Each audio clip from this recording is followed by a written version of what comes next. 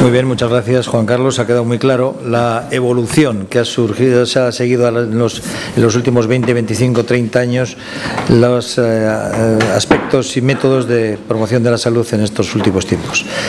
Alberto, eh, Ojanguren es, eh, como he comentado antes, el, responsable del Servicio de Prevención Medio Ambiente de Bilbao Port. Nos va a contar un poco su experiencia. Cuando quieras, Alberto. Egunon, buenos días. Eh, muchas gracias por vuestra asistencia y en especial a, Osalan por invitarnos y ofrecernos la oportunidad de, contar lo que estamos haciendo desde hace muchos años en, en nuestra empresa. Eh, efectivamente, mmm, mis dos antecesores han, yo creo que han dejado en el aire eh, una reflexión importante. Los servicios de prevención, eh, desde luego, nuestra misión primordial es hacer prevención de riesgos laborales y las áreas de medicina del trabajo, hacer medicina del trabajo, hacer vigilancia de la salud específica frente a los riesgos a los que nuestros trabajadores están expuestos, sin ninguna duda. Esa es nuestra misión primordial. Ahora bien, si hemos sido capaces de, de hacer, de esta misión primordial y tenemos recursos y tiempo para, para hacer más cosas, nuestra obligación también debe ser eh, dedicarnos a hacer promoción de la salud y todo aquello que, que pueda mejorar la salud de nuestros trabajadores. Yo, repasando eh, documentación para preparar esta presentación, me he dado cuenta, casi no éramos conscientes de, de, ello. Sí sabíamos que hacíamos promoción de la salud, pero creo que está, llevamos 30 años haciendo empresa saludable. Y me he dado cuenta estos días atrás. Es verdad que igual sin mucho rigor metodológico, lo hemos hecho un poco a bote pronto, ¿no? Pero bueno, voy a contar lo que hemos hecho y, ya me dirán si, si, estoy en lo cierto o no. Eh, hemos dividido nuestra experiencia en estos años en, en dos periodos, eh, en, entre el 85 y el 2010 y del 2010 en adelante al 2015, que es nuestro último plan estratégico respecto a, en concreto a medicina del trabajo, también otros aspectos. Eh, empiezo por el pasado, como bien representa esta estela a popa de, de, de uno de nuestros barcos. Empezamos con campañas sencillitas, empezamos a vacunar del tétanos, eh, bueno, nos empeñamos en, en, en, tener a la gente vacunada, hipervacunada y revacunada, pero eh, llegó un momento en que con las nuevas pautas de vacunación llegamos a la conclusión que, que estábamos excesivamente vacunando a esta gente y paramos, ¿no? en el 2009 paramos. Campaña sencillita también, eh, vacunación de la gripe un poco más allá de, de, la salud, de la sanidad pública, nosotros bueno, llegamos a un un sector de la población que normalmente no se, no se vacunaba, cosas sencillas. Eh, también una evolución descendente porque son campañas que vimos que tampoco eran, la mantenemos pero no eran muy... Pero bueno, ya sí, sí en el año 91 empezamos con cosas ya un poco más, más serias. Hicimos una campaña de prevención de la isquemia silente eh, en la cual eh, participaron 317 personas, de 365 posibles, 317 personas incluimos en esta campaña, la cual lógicamente, aparte de la historia clínica, eh, analíticas, exploraciones físicas, les hicimos una, una ergometría de esfuerzo en, bicicleta sobre bicicleta estática. Eh, duró estos años, del 91 al 95 la campaña, y conseguimos incluir al final eh, 317 personas. Con, con estos resultados eh, encontramos un 8,20% de pruebas clínica o electrocardiográficamente positivas para cardiopatía isquémica, a los cuales les continuamos haciendo exploraciones. En concreto, a esta gente les hicimos eh, una ergometría con isótopos radioactivos, con talio concretamente, de tal suerte que llegamos a, la conclusión, bueno, y, a los positivos en, en talio les hacíamos coronariografía, y llegamos a detectar 3,48% de los participantes cardiopatía isquémica, prácticamente la, un poco menos de la mitad de las, de pruebas positivas, es decir, tuvimos falsos positivos, eh, como no puede ser de otra manera, pero si detectamos eh, 4 y 4, 8, 10, 11 casos de, de cardiopatía, que, bueno, lógicamente pensamos que, que aportamos mucho a su, a su salud en este caso otra campaña también de cierta, cierto calibre que ahora a nadie le puede sorprender porque la sanidad pública está haciendo una campaña de despistaje del cáncer colorectal,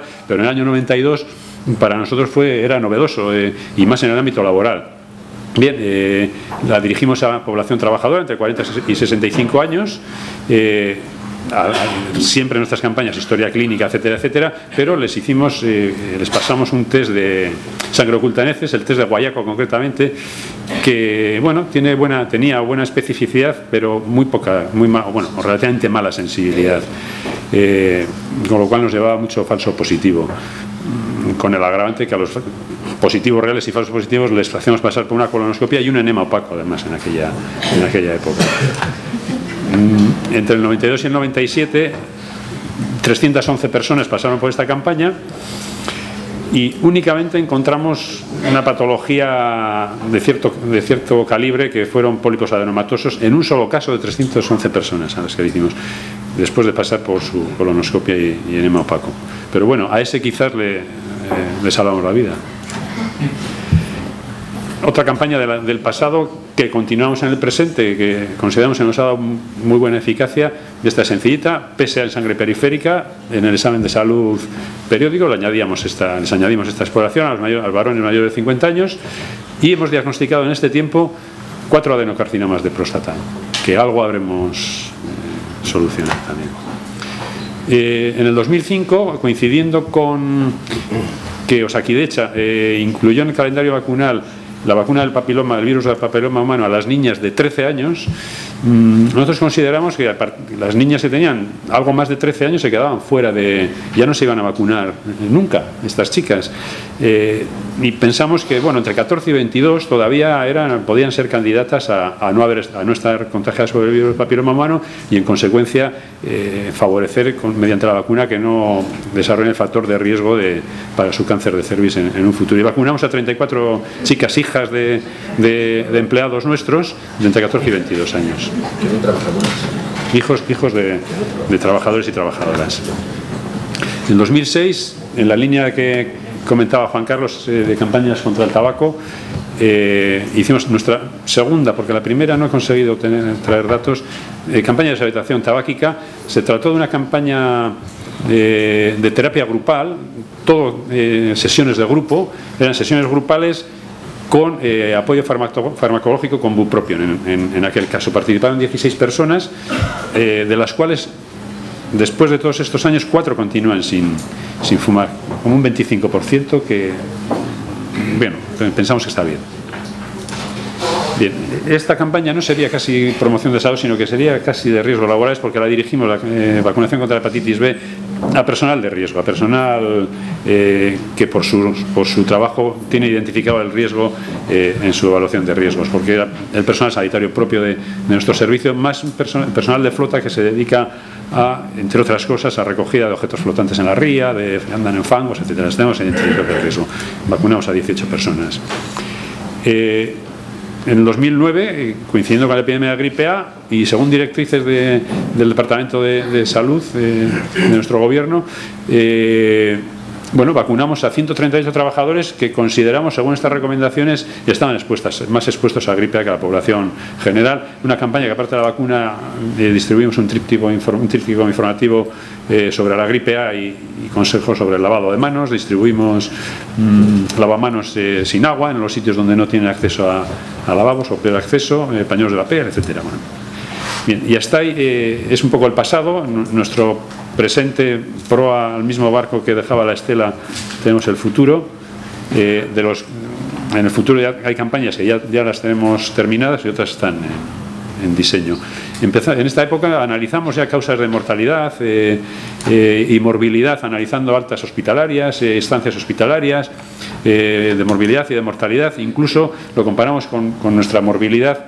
En este caso, eh, nuestro dato eran las bajas, con lo cual no coincidía muy bien con altas y estancias hospitalarias, porque no estamos hablando de lo mismo. En nuestro caso, hombre, lógicamente tenemos mucha baja por procesos traumatológicos, que la población general, cuando cuentas altas estancias hospitalarias, seguramente ni habrán ingresado. Entonces, no es lo mismo, pero sí, sí llegamos a, la conclusión que, bueno, que las principales causas de mortalidad y de mortalidad eh, se refieren a, enfermedades cardiocirculatorias, a tumores y enfermedades respiratorias. Y en consecuencia, reforzamos campañas pensando, pensando en, estos, en estos factores. Campañas preventivas frente a estos riesgos y otras, otro tipo de, medidas que no son campañas de, mm, salud exactamente, pero sí eh, fomento de hábitos de vida saludable mediante charlas y sesiones pues, sobre alimentación, dieta, deporte en, el trabajo un apoyo, una, apuesta importante por apoyar el, deporte en nuestros trabajadores. Eh, a día de hoy tenemos equipo de fútbol, tenemos equipo de, tenis, pádel, tenemos equipo de ciclismo, eh, tenemos convenio con los institutos municipales de salud de, los municipios de nuestro entorno, de tal manera que nuestros trabajadores pueden ir y sus, eh, familiares, hijos y esposas o esposos a, hacer deporte en, en estos polideportivos de forma gratuita. Plan de movilidad, fomentando que la gente utilice el transporte público, eh, plan de igualdad en la línea de, empresa saludable, aunque no sea salud exactamente, pero sí empresa saludable. Todo esto mm, ya un poco más con más metodología que la, de, del pasado. Repetimos campaña de deshabitación tabáquica como factor de riesgo eh, fundamental en, las enfermedades cardiovasculares y respiratorias. Eh, no puede ser otra manera que periódicamente hagamos una campaña de deshabitación tabáquica, en este caso con 26 participantes. Terapia grupal al principio, pero individualizada en, el siguiente en el transcurso de, tres o cuatro meses que duró la campaña, hasta seis, siete sesiones, creo que siete sesiones individuales, también con apoyo eh, farmacológico y en este caso conseguimos eh, seis abandonos eh, a día de hoy, entre tres años después. En un principio, a un año teníamos 11, pero bueno, recayeron algunos. En este momento tenemos seis y cuatro de la otra, diez personas que hemos conseguido dejar de fumar. Mm, en la misma línea de factores de riesgo, eh, campaña de despistaje de, cáncer de pulmón. Bien, objeto de esta campaña, como todas las que estamos haciendo eh, eh, ya en esta, época, diagnóstico temprano, corregir factores de riesgo y proponer medidas preventivas.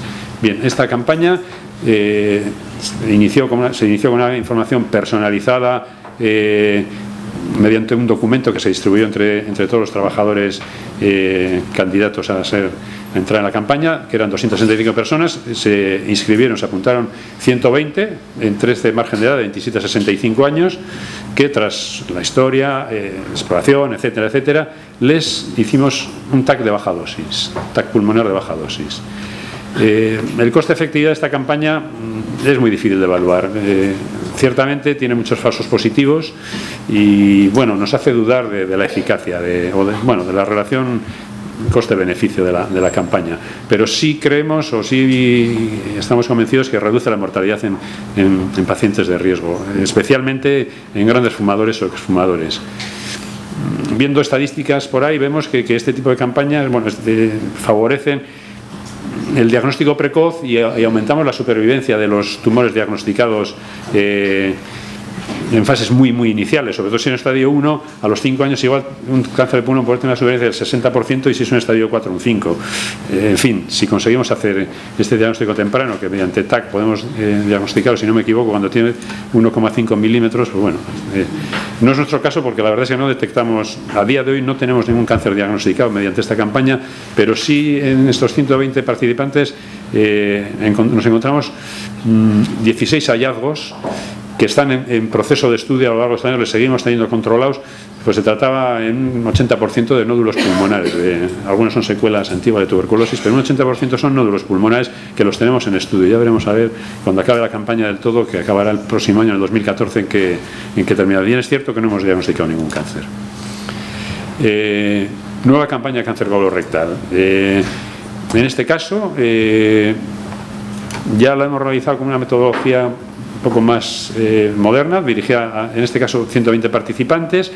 Mm, hicimos sangre oculta en heces, hicimos test de la septina 9 y a todos ellos, a los positivos, eh, colonoscopia, con, estas, con estos resultados. El test de, de la septina, este, perdón, el, test de sangre oculta en este caso es un test inmunoquímico con ya eh, que detecta anticuerpos específicos frente a la hemoglobina humana y además reacciona eh, frente a la hemoglobina sin, sin es decir, detecta sangrado bajo y es mucho más, eh, eh, sigue teniendo mucha, mucha especialidad y además ahora tiene ya mucha, mucha sensibilidad frente al guayaco, el test inmunoquímico. test de aseptina 9, con, con mucha prevención lo hicimos, es un test en sangre periférica que busca, detecta la forma material del test del, gen de la septina 9 que parece ser que se podría considerar como un marcador eh, tumoral genético presente, en, dicen, hasta en el 90% de, los tumores de colon y poca presencia en otros tumores. Pero bueno, esto todavía hay que cogerlo con, con pinzas. Nosotros dividimos a estas, a estas personas, hicimos tres grupos, un grupo general, todos aquellos que se quisieron inscribir, un grupo de aquellos que tenían antecedentes personales o familiares de, patología de colon, de pólipos, de, tumores, etcétera, y un grupo control aleatorio. Al grupo control y al grupo antecedentes les hicimos sangre oculta en heces y test de la septina 9. Al grupo general solo test de sangre oculta en heces. pues en el grupo control nos encontramos con cuatro positivos en, sangre oculta en heces y un positivo en el test de la septina 9, que además había dado eh, positivo en, la sangre oculta en heces. Eh, a esto les hicimos colonoscopia, ya no, perdón, si colonoscopia no les hicimos en hemopaco, ahora hacemos colonoscopia directamente y nos encontramos con dos colonoscopias con hallazgos eh, positivos, o sea, un hallazgo con patología de colon. Eh, bien es cierto que el, que dio positivo en sangre oculta en y en, septina 9 no tuvo hallazgos, no tenía nada. Con lo cual, bueno, pues el test de la septina 9 eh, nos, empezó a poner en dudas. Al, grupo antecedentes nos encontramos con seis positivos, cinco, seis positivos eh, y, un, positivo en septina 9. Este también había dado positivo en sangre oculta en heces, pero sí tuvo patología de colon. Uno de los dos casos del grupo antecedentes con patología de colon dio positivo en las dos pruebas. Y el grupo general con estos resultados. Eh, mm, nueve positivos en sangre oculta en heces, de los cuales cinco tuvieron hallazgos. Bien, eh, nuestros eh, datos de participación son similares a la comunidad. Eh, en el Estado español, en estas campañas llega a participar el, el 48, casi el 49%, en nuestra, en nuestra comunidad el 66%, y en la autoridad portuaria el grupo general 40%, pero si contamos los mayores de 50 años, que son los mismos que están en la campaña de, nuestra comunidad, el 63%, es decir, estamos en, similares cifras. Lo que no estamos igual, no, hemos llegado a analizarlo todavía por qué, es en el número de positivos de la sangre oculta. En, en la comunidad eh, ronda el 6,89, en nuestro caso el 14,86, y el test es el mismo. Bien, en este caso el coste efectividad de estas campañas estamos seguros, así como la de cáncer de pulmón estamos tan seguros, es que son súper efectivas en relación coste-eficacia, porque eh, hemos, leyendo cosas, eh, estimado en un ahorro directo de 27.000 euros por caso diagnosticado, incluso 180.000 si, si contamos la pérdida de productividad, y en, nuestra autoridad por todo esto trasladado a nuestras personas que nos tocarían unos cuatro cánceres por estadísticamente nos hemos ahorrado 108.000 euros directos y hasta 720.000 indirectos, con un coste de la campaña de 3.688 euros. Eh, bien, esta campaña la hemos continuado a, abreviando a lo largo de los años. Eh, los resultados son más o menos los que he comentado. Nos hemos encontrado con un 51% de, casos de, de, patología neoplásica, de aquellos que han dado positivos, de las 29 eh, colonoscopias realizadas eh, casi la mitad han encontrado hallazgos neoplásicos o, preneoplásicos. Con lo cual, bueno, pues consideramos una campaña francamente importante. Estas ya todavía no las tenemos muy evaluadas. Eh, a continuación es una campaña de, análisis de, órganos eh, mediante ecografía abdominal, 163 participantes y casi la mitad con hallazgos de diferente calibre, distribuidos por órganos eh, en esta distribución, hígado y, vesícula viral, eh, los que más patología arrojaban, pero también riñón, próstata y, otros órganos. Repetimos la campaña de isquemia silente, en este caso, en vez de en bicicleta, lo hicimos en tapiz rodante, buscando eh, lesiones coronarias silentes, 162 mm, personas y con estos hallazgos. Aquí sí que encontramos, en este caso ya hemos encontrado unos cuantos hallazgos. Eh, tuvimos nueve hallazgos de, 150, de 162 participantes que acabaron eh, con más exploraciones, eh, ecocardio de estrés y, o TAC cardio. Llegamos al diagnóstico de dos isquemias y una neurisma y un aneurisma aórtico. Es decir, tres casos importantes mediante esta prueba. Bien. Acción eh, eh, de promoción de la salud, y ya casi con esto termino. Eh, hemos buscado que el puerto de Bilbao sea un espacio cardioprotegido. Como formación, tenemos formada casi la totalidad de la plantilla, casi, casi, eh, la vamos a tener completamente formada a lo largo de 2014. Ahora tenemos 200 y pico personas ya formadas en reanimación cardiopulmonar y uso de desfibriladores externos y la instalación de nueve desfibriladores automáticos en, nuestras instalaciones, de tal suerte que tenemos un 80% de la, de la plantilla de, todo el puerto de Bilbao, no ya solo de, la de nuestra empresa, sino de todas las empresas que trabajan en nuestro entorno, a menos de tres minutos de un desfibrilador. Y, en consecuencia, con esa con esas premisas hemos obtenido la certificación de espacio cardioprotegido de, de la Sociedad Española de Medicina y Seguridad en el Trabajo, unas pequeñas fotos de nuestros desfibriladores, paneles informativos, una llave en los ascensores que nos da prioridad para utilizarlos a la búsqueda del desfibrilador. Y ya eh, tenemos algunas campañas en, diseño, de, vamos, estamos haciendo, vamos a hacer, mejor dicho, detección de Helicobacter pylori a mm, personal que tenga patología, identificada patología digestiva esta está todavía sin empezar y estamos pensando en hacer una campaña de prevención de, del ictus eh, de nuestros trabajadores. Es que ricas.